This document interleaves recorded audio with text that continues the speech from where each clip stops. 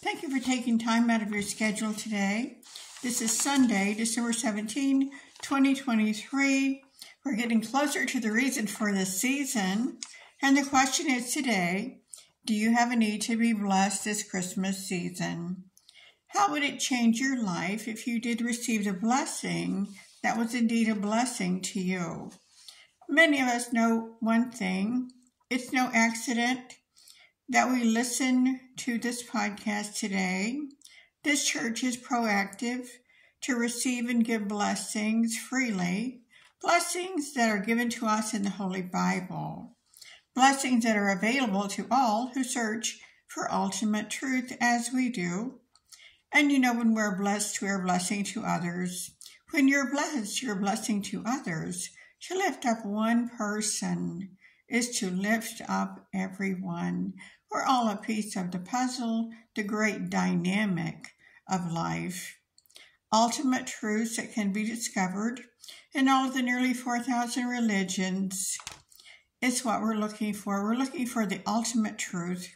We're looking for the cause that produces the effect that releases a treasure trove of blessings to us. That's what we're all about. We do a lot of research. I'm Reverend Dr. Sherwood Howland, a licensed ordained minister through the International Metaphysical Ministry Systems. I'm licensed to perform all functions of the church. Know that if you experience a spiritual benefit or outcome of any kind, it is God's presence within you that you have activated to do the work for you. It's all an inner work. It has nothing to do with anyone else besides you. What is your belief system? Does it allow your prayers to be answered? That is what we ask the question, the big question that metaphysics is all about. Metaphysics is a philosophy, and all of us have a philosophy. No matter what church we go to, we don't always agree with everyone else there. We agree for the most part, but maybe not always. But we like to go there because, for the most part, they have a belief system that's similar to ours. So it's no secret that God knows what you've been praying, meditating, and contemplating on this week. And it's no secret that God knows your hearts. God knows how important it is to you, to each of us. So today, being open and receptive to receive is the first choice that we make. Repeat after me. I am open and receptive to receive answers to my prayers, meditations, and contemplations. I realize God knows my heart, God, my Creator, the one who thought the world would not be complete without me in it. And that's the truth. Everyone is equally important. We're all part of the whole, let us bow our heads and hearts in prayer to receive the divine who joins our worship service today. The divine is the one who will meet our needs, answer our prayers, meditations, and contemplations. I invite the Holy Trinity, the Father, the Son, the Holy Spirit, to join us today. I invite the true God of my reason for being to release all negativity from the week just past and throughout my life. To do so, I turn on my inner light of peace to activate my power, my intuitive wisdom, my creativity, my revitalization and restoration as a positive statement of my soul's eternal oneness with the heart, mind, and spirit of God.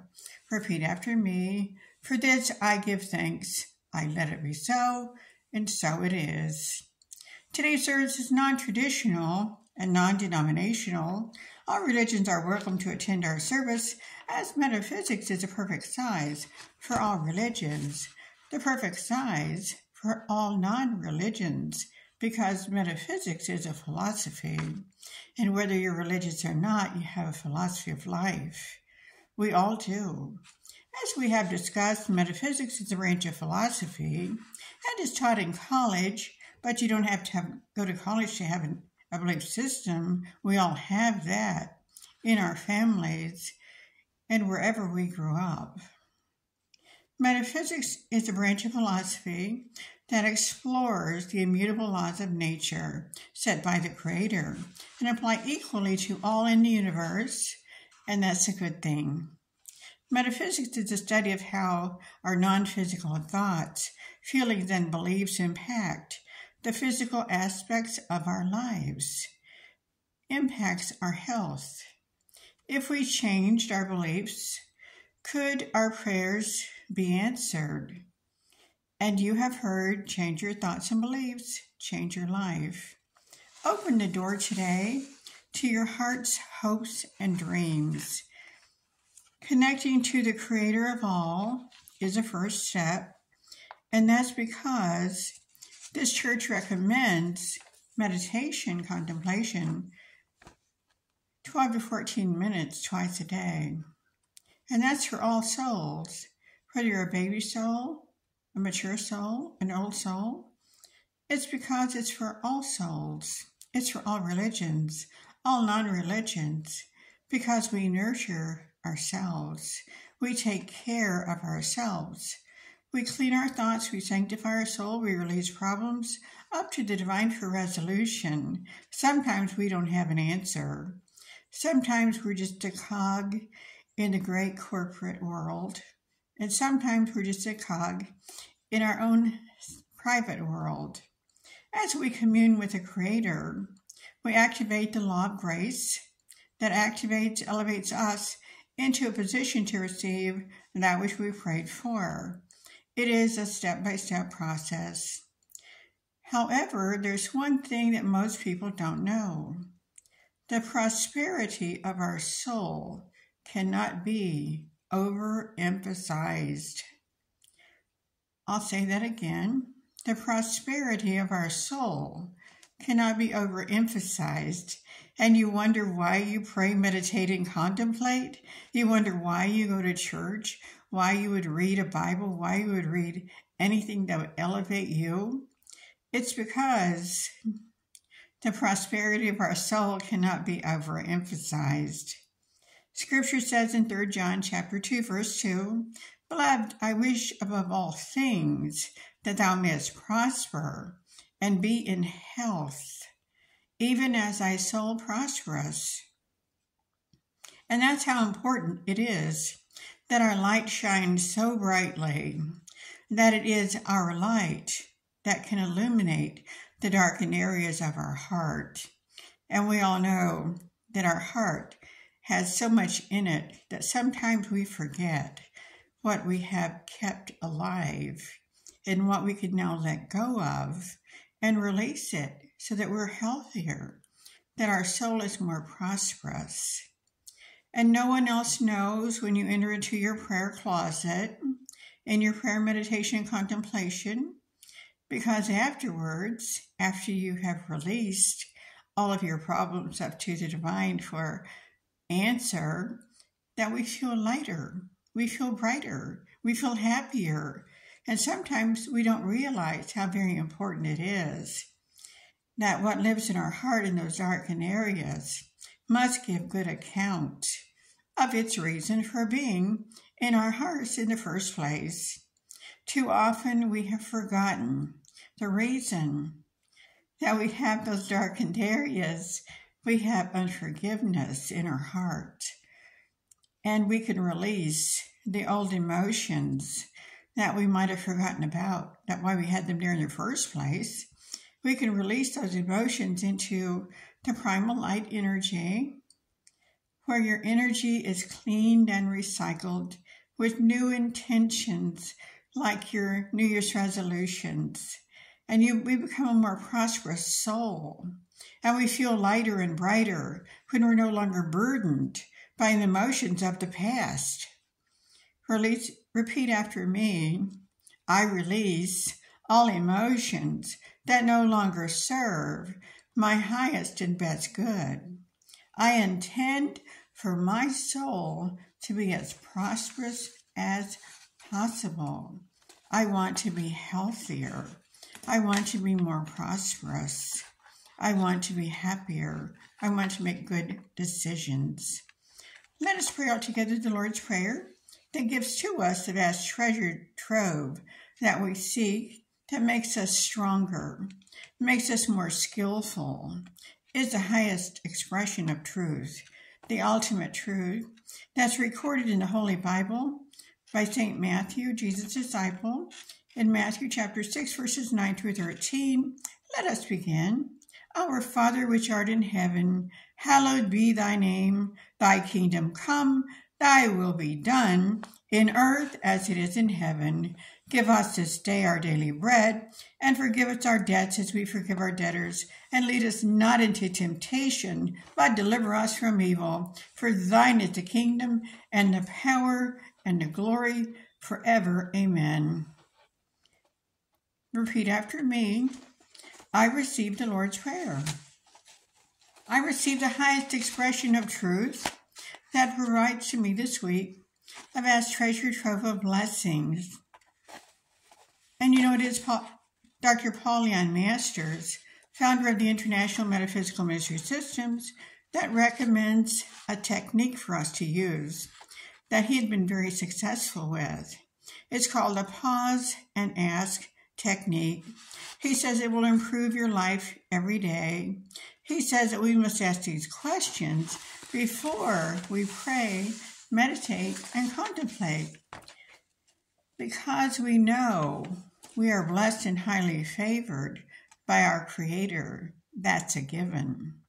He said to ask, What gift is God trying to give me right now? Is it a new job, better health, peace of mind? Is it enlightenment to resolve a nagging issue? He says, in truth, God wants to gift you all of the time. And that's the reason that you pray, meditate, and contemplate. That's the reason that it's so habit forming. Because the closer to God's presence within you, the more likely you'll be made aware of what that gift is. I thought, isn't that a great thing to do? Because sometimes when you pray, meditate, and contemplate, you wonder, well, what am I doing this for? And he says, well, ask those questions. I like those questions, don't you? In a group that originated in England, calls this pause and ask technique that Dr. Masters recommends uncommon sense, and it became the name of their group. Sometimes when we rejoice that we're in a position to help others, and we realize that our help is not wanted, will not be appreciated, or is vehemently opposed, we are only the messenger whose gift is refused. Sometimes the reason for refusal is fear of change, fear of the unknown, or something else. Fear is false evidence appearing real. The opposite of fear is faith. Scripture says in Ephesians chapter 2, verses 8 and 9, verse 8, For by grace are ye saved through faith, and that not of yourselves. It is the gift of God. Repeat after me. I received the gift of God. Verse number nine, not of works, lest any man should boast. Repeat after me. I am saved through faith. I receive this gift of God. We do know that by conforming to requirements of spiritual laws, in prayer, meditation, contemplation, we know we have the power to ask what we will, and that, like an obedient servant, that which we pray for, meditate, and contemplate on will serve us in many useful capacities. And what is this obedient service called?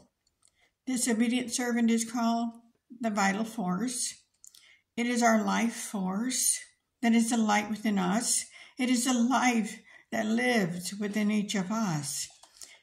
Absent this light of life within our physical body, we experience, as I've said before, a homegoing in which our physical body returns to Mother Earth from which it came, and our spirit returns to its origin back, in, back into the primal light of all creation.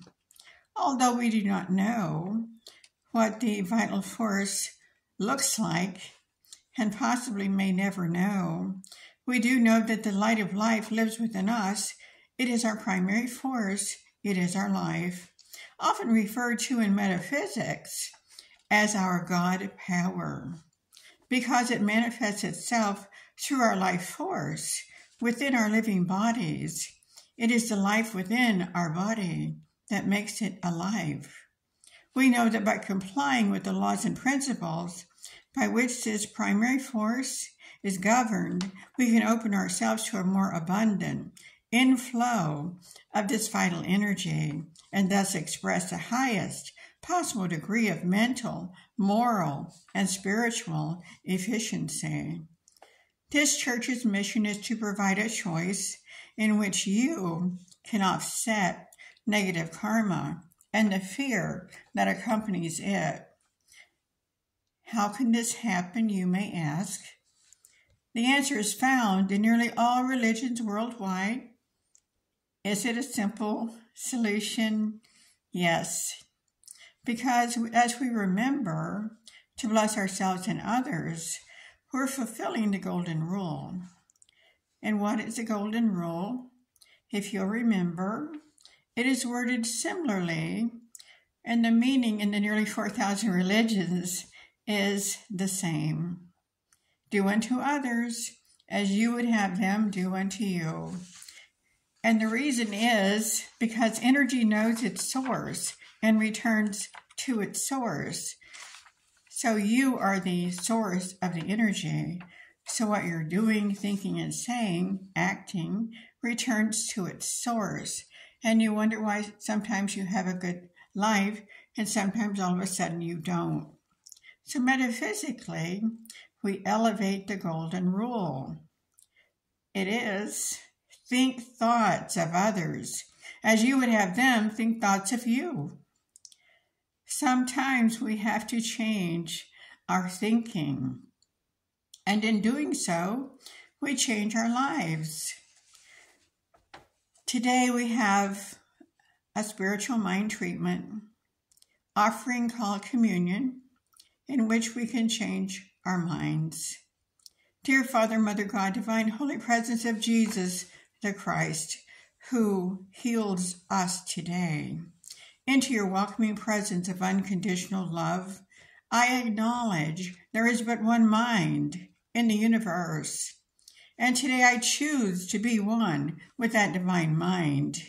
I release all negative karma and the fear that accompanies it into that divine mind that has guided me, protected me, prospered me all of these years, and today frees me even further from any and all attachment to any fear filled, filled non value added thoughts, words, actions, deeds.